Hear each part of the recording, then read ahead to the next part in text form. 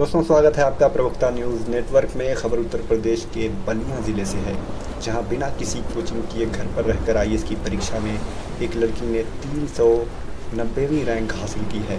इस लड़की का नाम पूजा राय है और उसकी इस उपलब्धि पर परिवार और ज़िले भर के लोग खुशियाँ ज़ाहिर कर रहे हैं।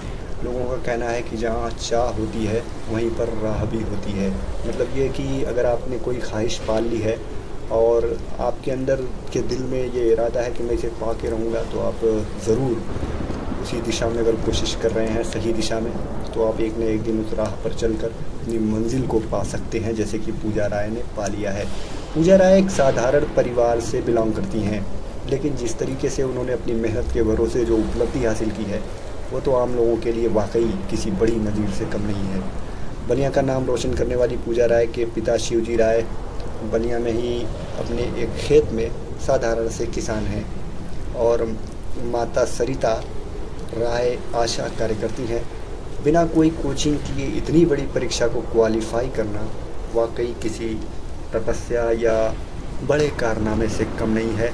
उम्मीद है ये वीडियो उन एस्पिरेंट्स के लिए यूपीएससी के एस्पिरेंट्स के लिए या जो आई बनकर राष्ट्र सेवा करना चाहते हैं, उनके लिए एक मोटिवेशन साबित होगी। जिससे उनका उत्साह वर्धन होगा। उम्मीद है आपको ये वीडियो ज़रूर पसंद आई होगी। तो वीडियो को लाइक और चैनल को सब्सक्राइब कर लें दोस्तों, धन्यवाद।